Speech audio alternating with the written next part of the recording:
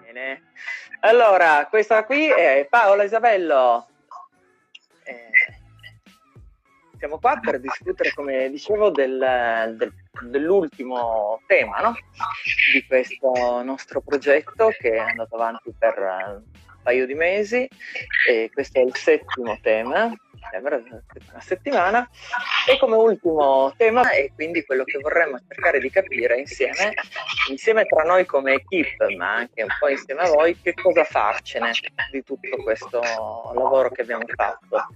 E quindi il nostro futuro parte proprio da, da oggi dove c'è la, la conclusione di, di quello che sta succedendo adesso.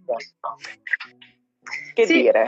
Ma anche perché un po' come si dice, per ogni fine corrisponde un nuovo inizio, no?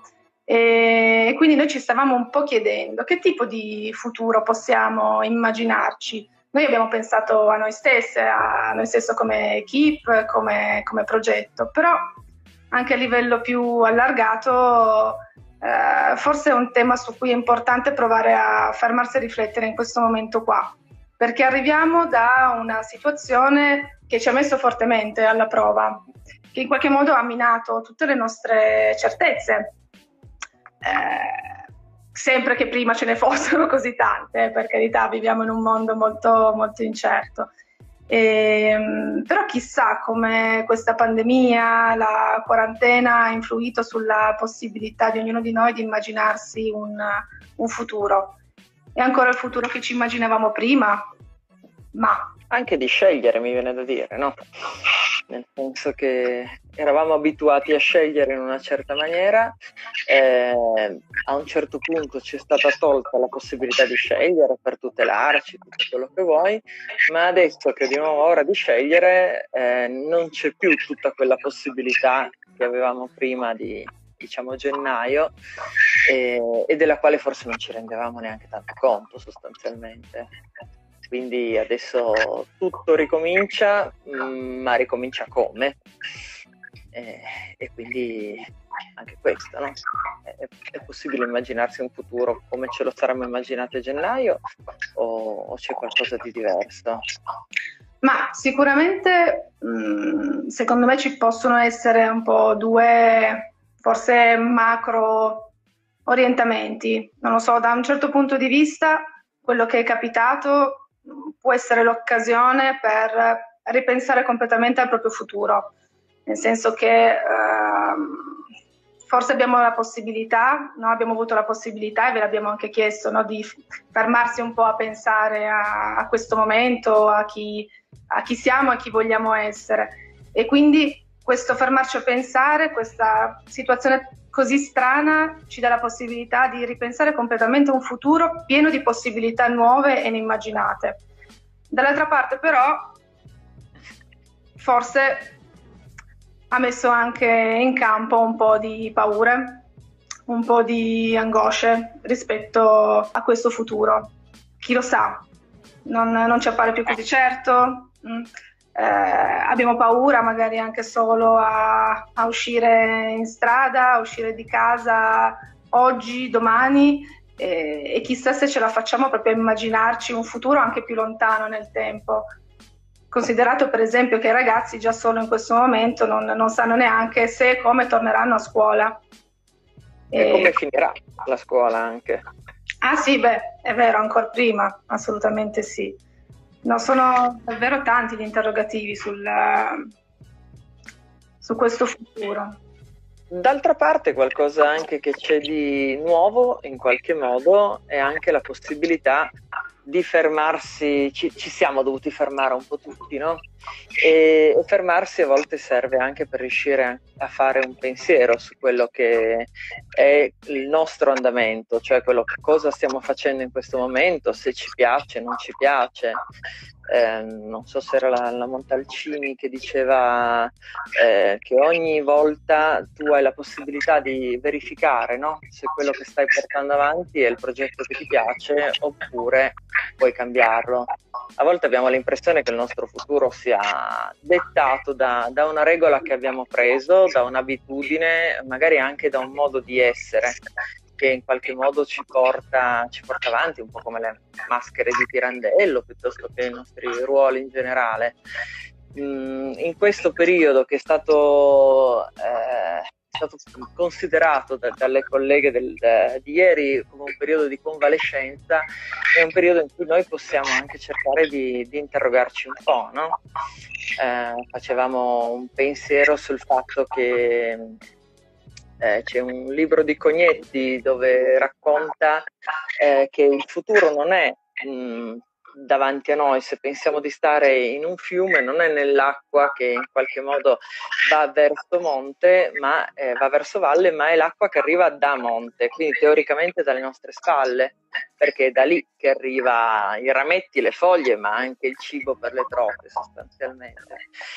Mm, il nostro passato quindi è qualcosa che eh, probabilmente ha molto più futuro di quello che immaginiamo e noi siamo nelle condizioni, forse in questo momento, di poter anche vedere se il nostro passato ci serve ancora per com'era, se come siamo stati ehm, vale ancora, ancora valido, oppure possiamo pensare anche a una nuova opportunità in qualche modo, no?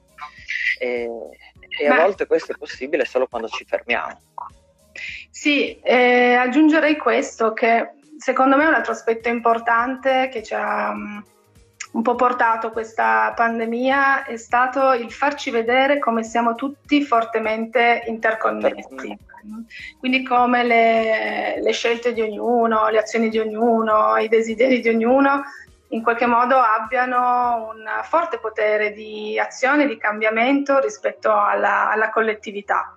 Eh, purtroppo ce l'ha fatto vedere in un modo non positivo, ecco, però eh, in un'ottica di, cioè, se lo pensiamo in prospettiva, in realtà ci mette di fronte forse a un, un dover eh, magari acquisire un po' più di responsabilità rispetto anche alle, alle scelte che facciamo, no? al tipo di, di, futuro che vogliamo costruire per noi, perché il tipo di futuro che vogliamo costruire per noi in qualche modo andrà anche a incidere rispetto alla, al futuro della, della società, no? della collettività. E quindi se, sicuramente è un'occasione. Abbiamo visto già negli ultimi tempi, ancora prima che arrivasse la pandemia, per esempio il movimento Friday for Future, scusate il mio inglese, e, e, secondo me quello è un ottimo esempio no, di, di, scelta collettiva da parte dei ragazzi che ha portato a una uh, forte presa di posizione e sensibilizzazione anche delle istituzioni più a livello globale. Quindi non so se questa anche possa essere un'occasione per ancora di più fare delle scelte che portino eh, a un futuro diverso anche per il mondo. Questo ci restituisce anche un po' un senso di, ehm, prima di tutto, di appartenenza al mondo, no? In qualche modo, quindi eh, le, mie scelte andranno a ricadere su tutti, però anche un po' un senso di responsabilità e non di passività come forse eh, abbiamo anche in qualche modo percepito in questi mesi, no? la, la, nostra passività stava nel far decidere gli altri che cosa dovevamo fare, stare a casa, eccetera, eccetera. Ehm, però forse mh, qualcuno di noi si è sentito un po' passivo sotto questo punto di vista, no? Quindi non è capace di, cioè, capace, proprio impossibilitato a prendere in mano la propria vita. Mm, forse prendere in mano la propria vita adesso dipende anche da, da questo, no? dal, dal, poter fare delle scelte che sono relative a se stessi, ma anche relative a, a, a un aspetto più globale fondamentalmente. Sì, mi viene in mente l'hashtag andrà tutto bene, no? fin dall'inizio della pandemia l'hashtag di riferimento è stato andrà tutto bene, quindi un hashtag che introduceva il, il tempo futuro. E secondo me possiamo veramente chiederci, ok, allora come potremmo fare andare a fare in modo che le cose vadano bene, come tutti potremmo contribuire a fare in modo che andrà tutto bene. Perché penso sì. sia una responsabilità anche un po' comune forse andrà tutto bene era quasi magica no? come formula, era una formula di cui si aveva bisogno nel momento in cui non si capiva niente di quello che stava succedendo e aveva un senso legato all'essere proprio nelle mani, nelle mani dello Stato, nelle mani del, della sanità, eccetera. Mentre adesso, adesso cerchiamo di capire noi che cosa possiamo fare perché vada tutto bene sostanzialmente. Ma quindi, che cosa chiediamo questa settimana? Qual è la domanda che lasciamo? Qual è la domanda che lasciamo? Ma io la, la domanda la, la, farei proprio un po' sul futuro, no? Quindi vedere un po', prima di tutto, come lo vedete questo futuro? È un, è un futuro, già, già la fase 2 fa parte del futuro, no?